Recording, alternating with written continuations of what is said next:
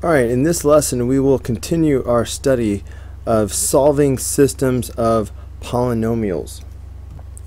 Um, Alright, for problem number one we have a cubic function and we have a linear function. So um, a cubic function, and this is a positive one, remember that's like an n type of a shape in general. And then we have a linear function, so um, here's just an example of the type of thing we might see.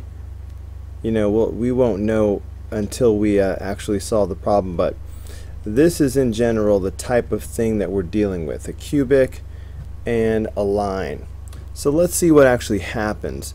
Um, substitution is going to be the way to go right here. I could do elimination. Um, uh, I'm going to go ahead and do substitution. So looking at it this way, alright, I've got y equals x to the third power plus 5x, okay, on the one hand.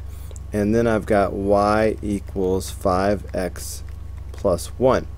If I take this and do a substitution, then I'm going to plug it in right here.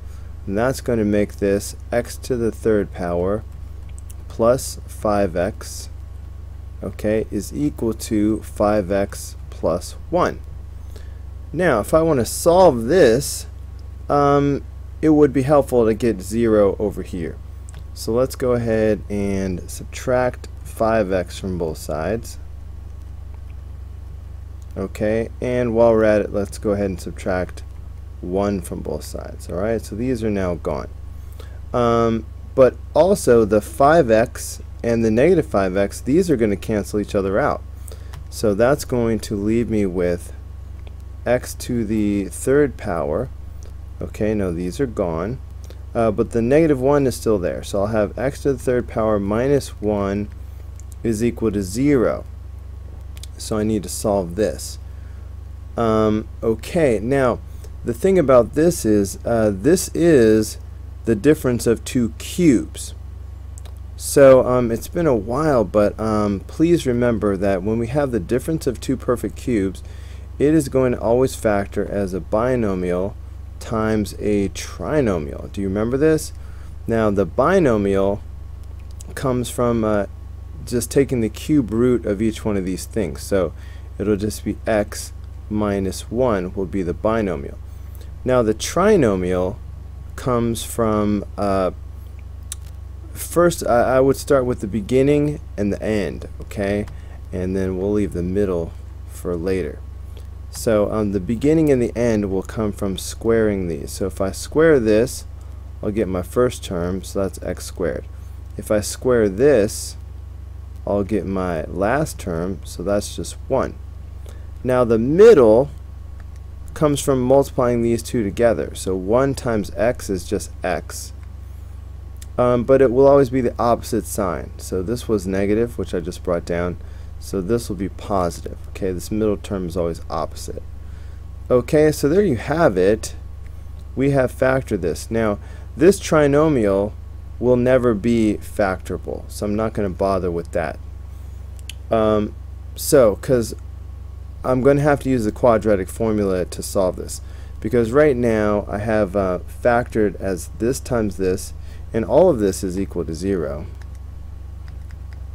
Um, but now what I need to do is I need to set each of these factors equal to 0 and solve. So I need to do x minus 1 equals 0 and I need to do um, x squared plus x plus 1 equal to 0. Uh, over here if I add 1 to both sides that gives me x equals 1. Okay, so that's something I needed. Now over here, this is not factorable. Normally I try to factor it or something. Um, so quadratic formula. Uh, please remember the quadratic formula. Alright, and by this stage in your career, you should have memorized the quadratic formula. There is that song to help you remember. Opposite B, opposite B, plus or minus square root, plus or minus square root, b squared minus 4ac, b squared minus 4ac, all over 2a all over 2a. Alright, so you can run that back again. Rewind. Play it as many times as you want. You're welcome. Now, this part underneath the radical is special. It is called the discriminant. Um, we are always going to um, do that first, if you will. Okay, so this part right here is called the discriminant. Okay, we're always going to do this part first. Okay, um, should have put a box around that. Anyway, that's the discriminant. b squared minus 4ac.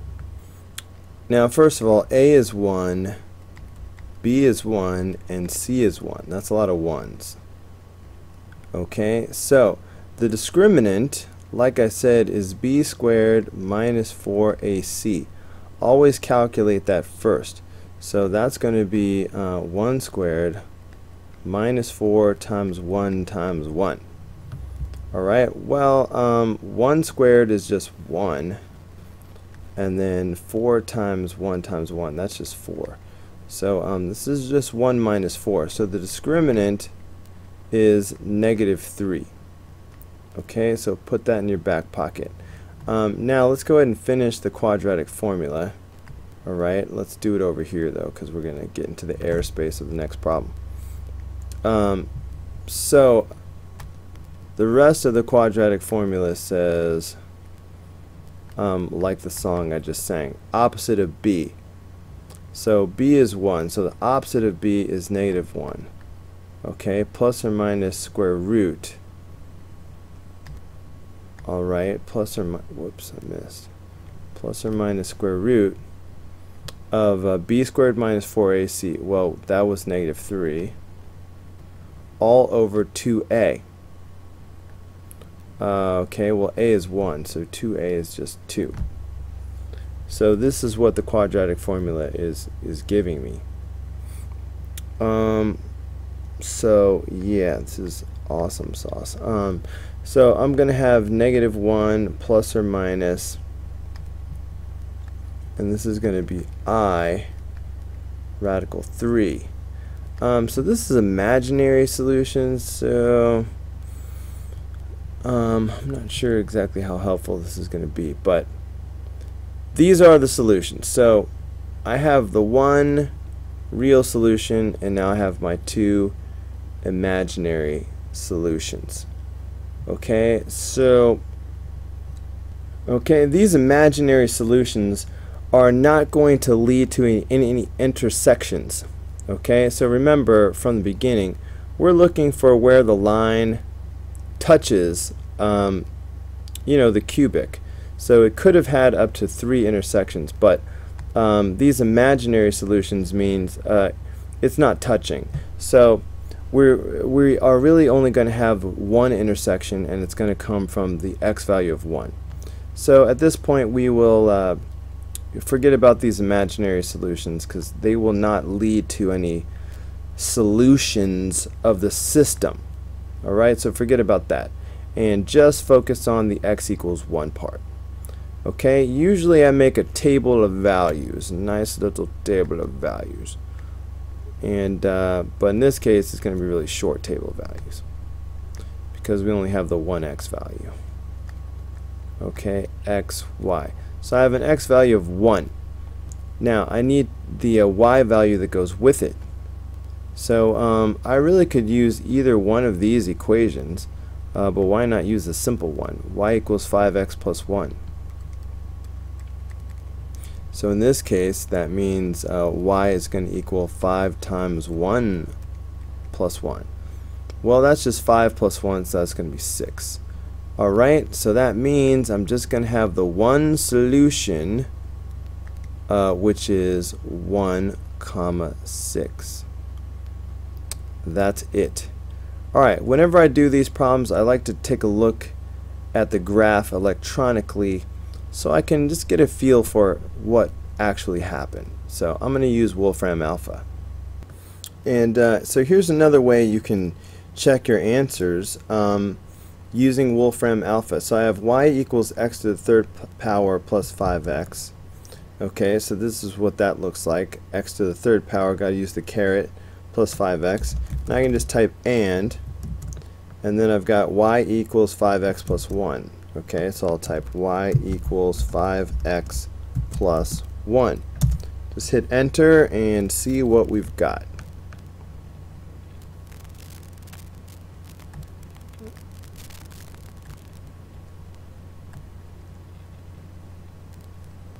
Okay, so take a look there. Um, the blue curve, that's our cubic.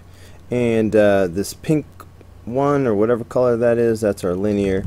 And as you can see, there's just the one intersection. And uh, that one intersection point is the point 1 comma 6, um, which is exactly what we had. Okay, so that's what's really happening here. Alright, um, for problem number two, we have ourselves a cubic and a uh, parabola. Alright, I mean, I could say it's a cubic and a quadratic, um, but that has a special name called a parabola. So, for the cubic, we're expecting uh, this type of thing, and for the parabola, okay, we're expecting uh, this type of thing. Okay, so in general, we're looking for maybe two solutions depending on exactly how it goes down. Um, up to two solutions. Uh, we won't know until we actually do it, for sure. So, um, what we have here is uh, we have y equals 2x squared on the one hand, and then we have y equals x to the third power. So I'm going to do substitution. So I'm going to take this substitute it for y. So what I have then is, um, you know, I, I feel like I'd rather do it the other way around. Know, maybe I'll just do it. So what I have then is 2x squared is equal to x to the third power. Okay, I want to keep that x to the third power positive though. Um, so I am going to subtract 2x squared from both sides like that and uh, so that's going to give me 0 is equal to x to the third power minus 2x squared. Um, but I'm sure you won't mind if I put the 0 on the other side instead. Alright, clearly that's the same thing. Okay, um, now I'm going to try to solve this just by factoring. And what's the first step of factoring? Uh, GCF, uh, you, you know this um, the common factors are x squared so that's the GCF so I'm going to pull out that x squared and then I'm going to think about what's left behind and uh, that would leave behind x minus 2 and all that would be equal to 0 alright so to find the solutions I need to set these uh, factors equal to 0 so I'm going to do this. Okay. And so on the left side I'm going to have x squared equals 0 and then I'll have x minus 2 equals 0 over here. Well, um, this is just going to give me x equals 0. Alright, um, you can think of it as taking the square root of both sides, um, but common sense, you know, the only thing you can square that gives you 0 is 0. And over here, I'm adding 2 to both sides, so I'm getting x equals 2. So I have two x values. Now I need to find the, the uh, y values that go with these. Uh, so to do that, then I make the t-chart. So I have x values, y values. So I have two x values. I have 0 and 2. So I'm going to use this simple little y equation, y equals 2x squared. So y equals 2x squared. So in this case, that becomes 2 times 0 squared and that's just 0 and in this case that's going to be 2 times 2 squared uh, 2 squared which I do this first 2 squared is 4 and 2 times 4 is 8 okay so that gives me two solutions that gives me uh, 0 comma 0 and 2 comma 8 Alright, so that's very similar to what we were looking for, two solutions. Um, but let's go ahead and look at an electronic um, graph to see what really happened. Let's use Wolfram Alpha. Let's put a box around this. Okay, so looking at our two equations here, we have y equals x to the third power, so y equals x caret 3, and uh, y equals 2x squared, so y equals 2x, and for squared we'll do caret 2. Just hit enter. Okay, so this is how it went down. Alright, so you can see our parabola here in purple, and our cubic there in blue, and here are the two intercepts. There's one here and one here. Okay, our 0 comma 0 and our, what was it? Um, our 2 comma 8. Uh, this is our 2 comma 8 right here. Alright, so it's always good to get a glimpse at what really happened. Alright, um, that's going to be enough for this video. Um, I think I'll probably just do two problems per video. So I'll see you on the next video for part two.